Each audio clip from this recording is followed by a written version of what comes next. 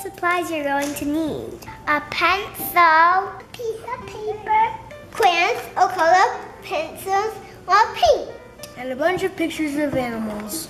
We found ours on the internet and print, just printed them out. Now pick two or three animals out of the bowl.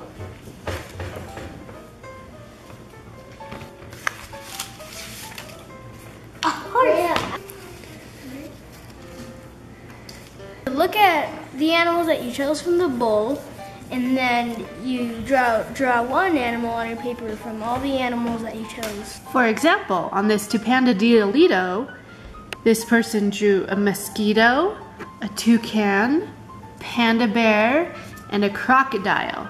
So you've got the toucan beak, the panda face, the crocodile body, and the mosquito legs. Okay, now you make your own animal morph.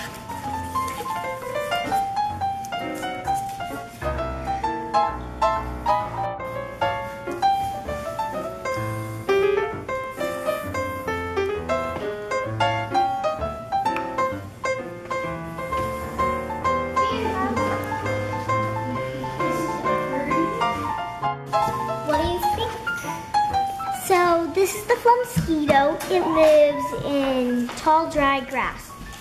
And this is the cutterpotamus. It lives in grass. This is the snuttercat. It lives in flowers. This is the elabee. It lives in a honey hive. This is the snutterfly. It lives in flowers. This is the Jeringo elclean. It lives in a desert oasis. This one is the bee bear. It lives in the jungle as well as the florilla, which is a fly gorilla.